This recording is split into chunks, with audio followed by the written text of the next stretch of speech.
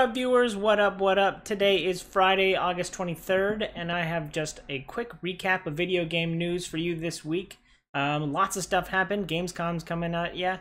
So uh, let's jump right in. So, like I said, Gamescom happened this week, or is probably currently happening. Um, yeah, Gamescom, the world's largest uh, video game conference, is happening in Cologne, Germany. And uh, I'm not there. I'm here to talk to you about video game news. Um, no, but a lot of information coming around, coming out uh, around Gamescom. Pretty much everything I'm talking about is is Gamescom related, but I do have some tidbits that aren't games Gamescom related. So it all started off with uh, Geoff Keighley doing opening night for Gamescom. He had like two hours of video game premieres and news. Um, he talked about Witcher 3 coming to the Switch. He talked about every other game coming under the sun. He talked to some big publishers, some smaller publishers um, and all that was was very cool. Um, and then Google Stadia is everywhere. Every everything that Google Stadia can be at, they will probably be at until they launch, and if not later. Um, so Google Stadia had their big presentation, and this one was just focused on video games.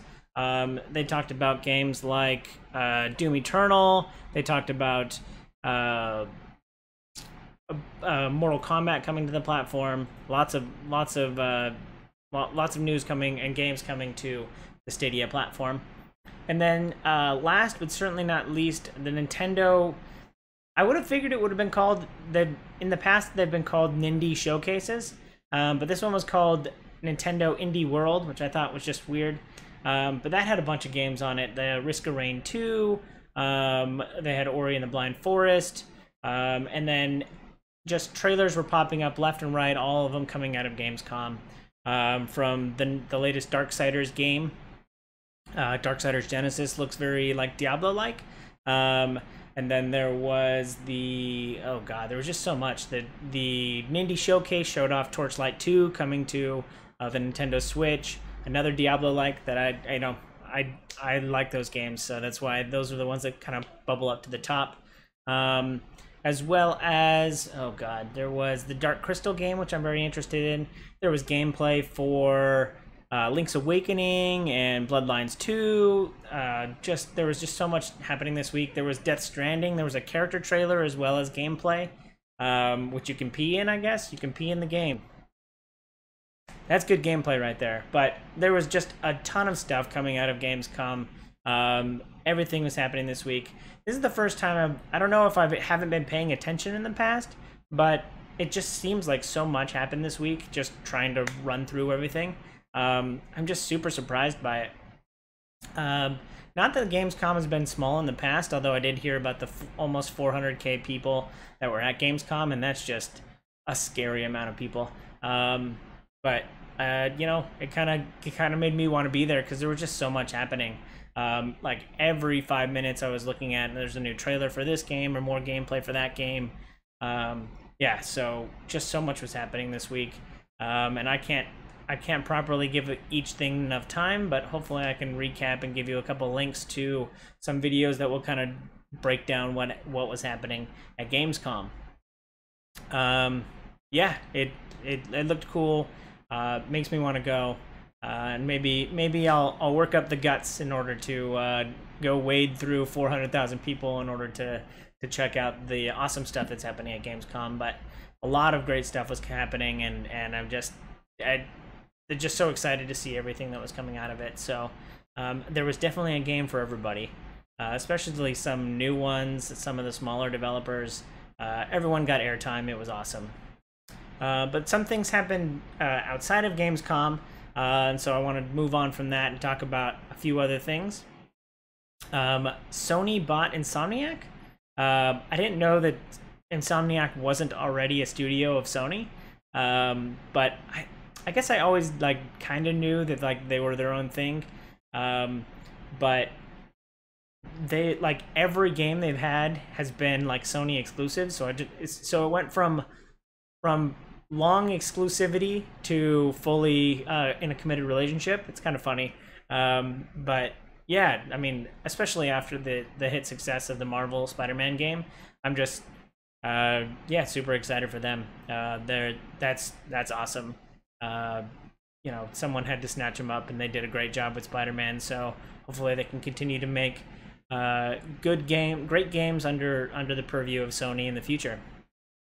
Uh, speaking of acquisitions as well, THQ Nordic bought Gunfire Games. Uh, Gunfire is the people behind uh, the latest Darksiders game, Darksiders 3, as not not Genesis. I don't think Darksiders is, or I don't think Gunfire is the studio behind Darksiders Genesis. Um, but Darksiders 3 was done by them, as well as Remnant from the Ashes, which is a, a recent release that I'm going to talk about in a few seconds. But um, yeah, THQ bought up that studio, which was interesting because Remnant from the Ashes just launched. They launched on the 20th, which was Tuesday.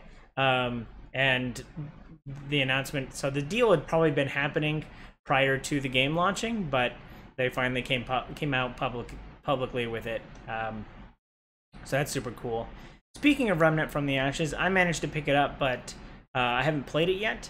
But it got a 78 Metacritic, which you know puts it around the area where you know buy it if you have friends, but you know it doesn't mean that it's a, a, commercial or it's not critically acclaimed and it's not going to pull in everybody from every genre. But the game looked looked super cool. I've been following it for a little bit. It was probably if there was if i was going to buy a game in august i think this was the one. Um, not that there are very many that came out this month.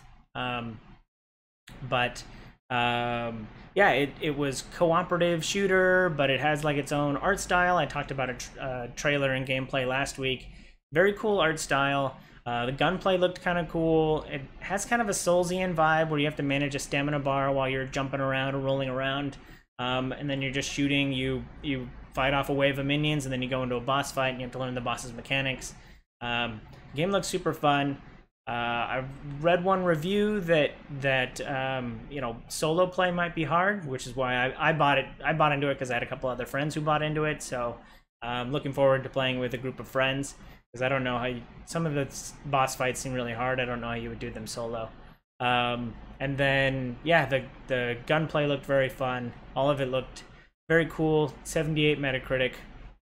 Remnant from the Ashes. Um, launching next week is Control, which is the other game that would have been on my list to to buy um, in August. Uh, Control is the latest game from Remedy, the people behind Alan Wake and Quantum Break, uh, which was an Xbox exclusive. Um, it they had their launch trailer this week. Um, the trailer kind of shows that she's like. I feel like they're going for for somewhat like a an Eleven from from uh, Stranger Things vibe. She was. It sounds like either she worked for or was experimented on by a secret government agency, and now she's rising up to like attack them because um, it showed like a, a pretty bleak, uh, empty government um, facility. And uh, yeah, it, I, I still don't quite know what it is, but it, it, showed a little bit of gameplay of like her flying around and her guns shifting around and shooting people. Um, big, uh, colossal, um, kind of uh, eldritch horror monsters that she was fighting. So I, yeah, I, I think there is a lot of there's definitely a, a minor influence from Stranger Things to this, um, just based on like the girl with powers. Although she is a full, a full, full, full woman. Um, but yeah, Control launches next week. Uh, I, I, I bet the game will will do well. I think Remedy does makes really good games, so uh, look into that if you are interested. Um, last for like the trailers and other things outside of Gamescom that I saw was I saw a few reviews of the new Switch, and it apparently does get like 50% more um, battery life. Uh, everyone was, you know, I saw one or two videos of of people testing out the new Switch model and it getting four and a half hours worth of battery life as opposed to the typical three you get with the current generation.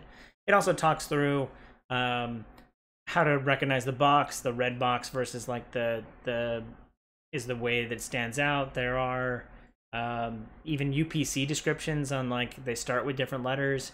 Uh, the UPC starts with different letters depending on which model it is. So all of that was a good way to identify the new Switch, to back up its claims, and to uh, get it if you want a new Switch. And it makes me consider, um, if, if, do I want to trade in my new Switch or my Switch for a for a new one. And uh, there's a lot of trade-in values at GameStop. I talked about those last last week or two weeks ago. Um, so you're pretty much you can trade in your current Switch for like 200 and get one get a new one for three. So you're paying an upcharge of $100 to get more battery life. Um, and if that's something you're interested in, then um, go ahead and do that. Moving right along, big deals happening this week. Uh, Xbox One Game Pass is only two dollars for the first two months, and considering I'm I'm thinking of buying an Xbox for Gears of uh, Gears Five, um, could be super interesting. I'm uh, I'm definitely playing with the idea of of buying uh, an Xbox One. So Game Pass being only two dollars is definitely a big incentive to uh, to buy into that ecosystem. And there was a ton of Game Pass games added uh, at Gamescom uh, just to bring it back to the big thing that happened this week. Um, so Game Pass, I, I in my email I call it the uh, the greatest deal in gaming because it just it, it has day and date games would launch on the platform as well as um, as well as like a whole slew of history and indie titles and and other not first party titles that that I'd be interested in.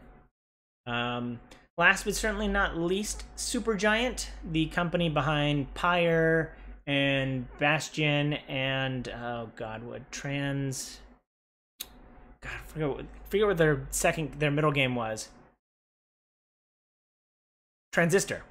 Transistor.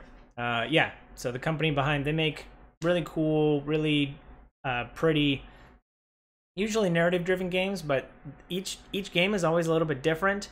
Um, and Pyre was more of like a sports title. Anyway, the Supergiant is the company behind those games, and they make very pretty games. And they're having a sale on GOG this week. Um, so if you want a PC version of all of those games, you can get them all like 80% off, I think I saw um, this week. Well, that's it. That was a quick news recap. Like I said, I can't get through everything that happened at Gamescom. If you feel like I missed anything, put it down in the comment sections below. Um, hope you enjoyed this. If you're watching this live on my Twitch channel on Friday, then I really appreciate you stopping by. A like, uh, follow, and a sub goes a long way.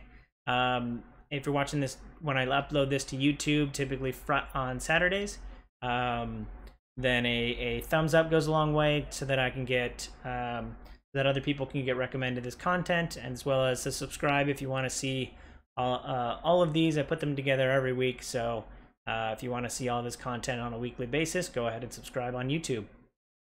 Um, hope you enjoyed this. Hope you have a super weekend. Hope you have a super day. Hope you have a super day. Cool. Thanks. Bye.